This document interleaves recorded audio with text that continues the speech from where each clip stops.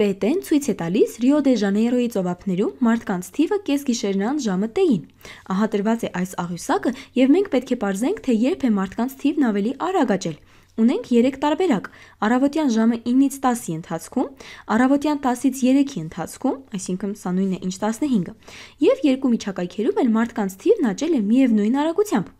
Ես առաջարկում եմ այս երկու միջակայքերում էլ հերթով հաշվել, թե ինչ արագությամբ է աճել մարդկանց թիվը, այնուհետև որոշենք, թե որ տարբերակն ենք ընտրում։ Ուրեմն, որpիսի հաշվենք, թե տրված միջակայքերում ինչ արագությամբ է աճել մարդկանց թիվը, անհրաժեշտ է գտնել մարդկանց թվերի տարբերությունը տրված միջակայքում։ Այսինքն պետք է ողրզենք, թե ինչպիսին է p-ի փոփոխությունը տրված միջակայքում t-ի փոփոխության դեպքում։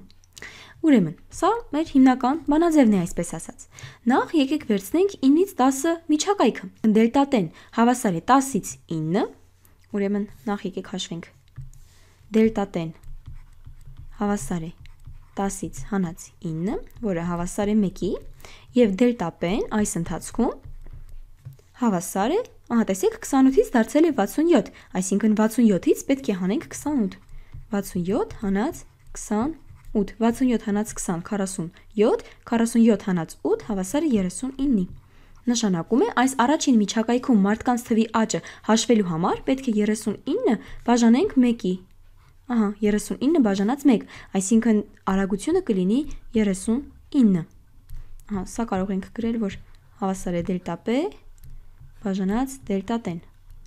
Ահա։ Անցնենք հաջորդ միջակայքին։ Ունենք ժամը 10-ից մինչև 15-ը ընկած միջակայքը։ Ահա տեսեք, մենք ունենք ժամը 10-ից 15-ը ընկած միջակայք, երբ 67-ից դարձել է 212 մարդ։ Նշանակում է դելտա T-ն հավասար է 15 հանած 10-ը, որը հավասար է 5-ի, և դելտա պեն հավասար է 212 հանած 67, ինչի է սա հավասար, 212 հանած 60 հավասար է 152-ի, 152 հանած 7-ն էլ հավասար է 145-ի, ահա, և 145 բաժանած 5, Ուրեմն մեզ մոտ այստեղ կլինի դելտա P բաժանած դելտա T հարաբերությունը հավասար 145 բաժանած 5-ի։ 14-ի մեջ 5-ը կրկնվում է 2 անգամ, կունենանք 45 բաժանած 5, որը հավասար է 9-ի, կունենանք 29։ Նշանակում է մարդկանց թիվը շատ ավելի արագ աճում է առավոտյան ժամը 9-ից 10 ընկած հատվածում։ Ուրեմն ճիշտ պատասխանը առաջինն է։ Առավոտյան ժամը 9-ից 10 ընկած հատվածում։ Ահա